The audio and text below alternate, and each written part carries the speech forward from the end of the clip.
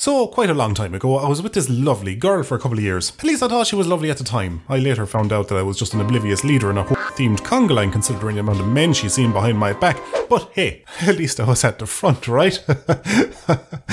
Ow. But rather than having to reference her this entire video, I'm just going to make a slight tweak to this script.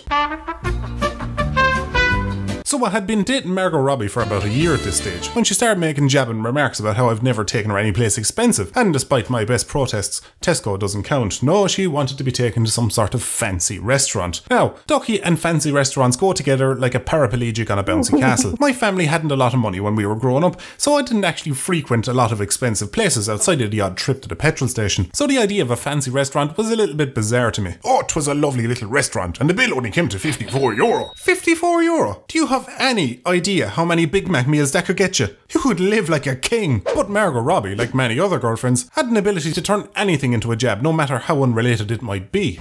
Hey, if you need me, I'm upstairs playing Halo. Oh, yeah. You'll take out the Covenant, but you won't take me out. What? No, I- I'm not feeding them, I'm shooting them. And I suppose you'll be bringing along that bitch Cortana too, won't you? Well, I hardly have a choice in that. It's how the game is pro off. Final book as a place. So that Friday, myself and Margot Robbie arrived at the Poncia's restaurant in town called La Cajun Expensive, and I was immediately in over my head. I had asked when I called to book it, but unfortunately they said a poor man's guide to fine dining wasn't a thing. So I walked in there like it was my first day at a new school not knowing how to approach anything. Thankfully, Margot Robbie wasn't a stranger to this kind of thing, so she took the lead in dealing with the host about the booking, and I hung back like a shy child despite the reservation being in my name. Table for two for a Mr. Ducky. Of course. Right this way. Oh, sorry. It's his first time here. Of course, that's no problem.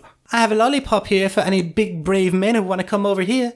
Oh, are you a big brave man? Yeah. Oh, of course you are. So we took our seats and were handed our menu, and things immediately kicked off in confusion when the waitress asked me if I'd like a pair of teeth. Obviously, I mustn't have heard her right, so I said, Sorry? And she said, Would you like a pair of teeth? At least that's what it sounded like to me, because I didn't have anything in my vocab that even came close to sounding like it. So I was like, uh, no thanks, I usually bring my own. Then Margot Robbie cuts across me with a smile and asks if she can get half a bottle of wine and a coke. The waitress wanders off to get the drinks, and Margot Robbie takes off laughing at me.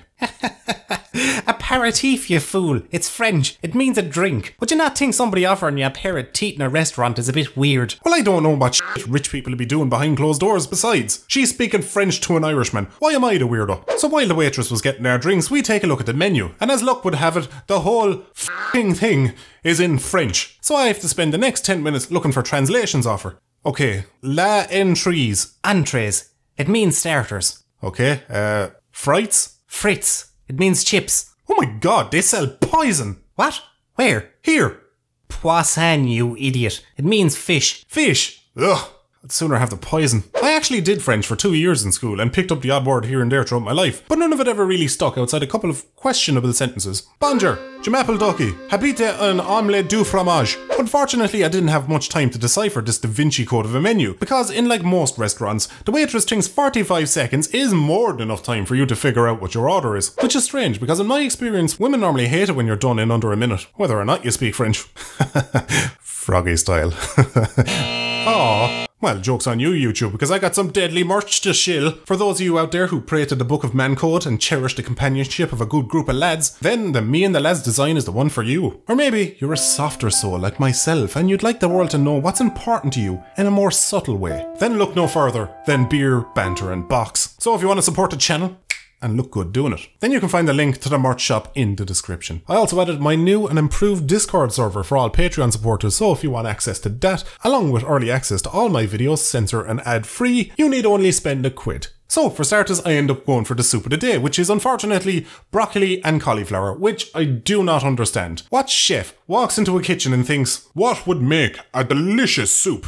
Hmm, I know. Those barely edible floury cabbage things that people are forced to eat when they're on a diet. I mean, who wouldn't pay a top dollar for off-green sludge tailor-made to give you bowel movements with so much thrust they're measured in newtons? But my only other options were something with blue cheese or something with prawns. And you can call me a weirdo, but I'd drink vegetables before I'd eat flatulence or chow down on a glass of slimy sea maggots. For the main, I went with steak, as it was the only thing out of the mains I actually recognised outside of duck, but I'm not a cannibal. And for dessert, I wasn't sure, so I ordered this variety platter thing that had three different different desserts on the plate. Margot Robbie ordered whatever she wanted. I can't really remember exactly what she ordered, but she got some chocolate thing for dessert, which I'll come back to. Now, this is where the waitress turned to me and asked, How would you like your steak? now, to be honest, I was completely unprepared for this question. Most of you watching, I'm sure know well. She's asking if I'd like it rare, medium, well done, etc. But this was the very first time I was ever asked this, and I never really had steak before, much less ordered it in a restaurant. And I don't know why, but an episode of Mr. Bean popped into my head. It was an episode where he orders steak tartare, and it turns out he accidentally ordered what essentially is raw beef. And not wanting to make the same mistake upon hearing how I like my steak, I answered, uh, cooked? If eyes were bullets, Margot Robbie would be in shell casings. Because with the look she threw me, I knew immediately that cooked wasn't one of the options. The waitress just smirked at me and said, And how cooked would you like it? all the way through? To which he said, well done, so I assume it was the right answer. Over the next, quite frankly, ridiculous 30 minutes, we waited for our starter. Not that we were lonely, mind you, with the waitress checking on us every five minutes like you would if you just found out your babysitter was a YouTuber. I'm sure the wait and the constant pestering had nothing to do with making sure I had to order a second Coke that comes conveniently in a smooth glass bottle so it doesn't hurt you as much when they shaft you in the hole for the fucking price of them. I'll be honest, by the sixth time, it had started to wear on me. Are you sure I can't get you guys anything? Yeah, I was about some fing food. Thankfully, a few minutes later, we finally got our starters. She got a lovely plate of whatever the chef found on the end of his rake after doing some gardening, and I got what you could only describe as a bowl of Shrek's money shot. It looked about as appetizing as you'd expect a liquefied blend of the world's two most disgusting common vegetables would look. But I was starving at this point, so I'd just have to take a leaf out of the missus's book and just shove it in my mouth, swallow, and pretend to love it while I internally try not to gag. So I take my first spoonful, and immediately I begin to weep because it was the best soup I had ever eaten in my entire life. The chef somehow made it absolutely delicious. Needless to say, I licked that bowl like I was box noshing Natalie Dormer. That's when I thought to myself, maybe I'm wrong about fancy restaurants. Maybe it isn't just overpriced toss served by people wearing an expression like you just shit in their pocket. Maybe there's actually something to this. Well, my optimism was as well placed as a barber in a cancer ward because on arrived our mains and I had to do a double take because I had ordered a steak, the most expensive main they had, and they handed me a child's portion. Seriously, for the price I was expecting a big off Fred Flintstone slab of meat. But what I got, you could lose down the side of a couch if you sat down too quickly. I mean, sure, it looked very nice with the sauce decor and a couple of unknown leaves on top to make it look more leafy. But I am hungry, and the last time I checked, Instagram likes weren't very filling. And this steak was about the size of a rice cake. Well, needless to say, this meal was a bit of a mixed bag so far. The only thing left that could possibly save this evening was dessert. So, fast forward to desserts. Margot Robbie gets hers first, and it's this absolutely mouth-watering slice of warm, melty chocolate cake.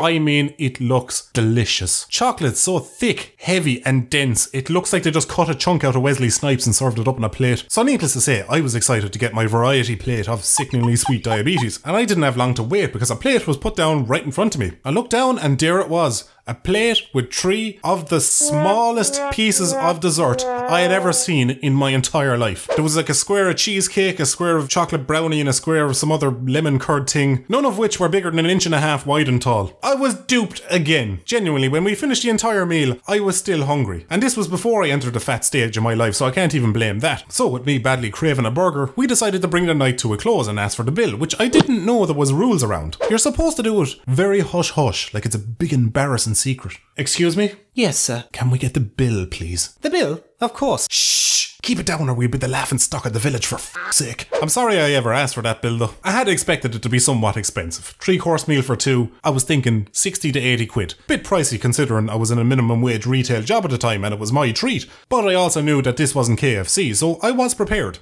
Or so I thought. Did you ever receive a bill so shocking and frightening you tried to blink it into being cheaper? The total came to 134 euro. Yeah, I nearly vomited up a lung with the shock. 4 euro for a Coke. 13 euro for those sample sized desserts. Hang on. You charged me for the fing lollipop! I just about had enough money to cover it, but Ducky wasn't getting no burger tonight anymore. Had to leave a tip for the waitress too, which I really don't get. It's a bit like, there you go, and here's a little something for carrying the food 15 feet. And you can tell that guy in the kitchen who spent years in culinary school learning how to make those delicious dishes, he can go f himself.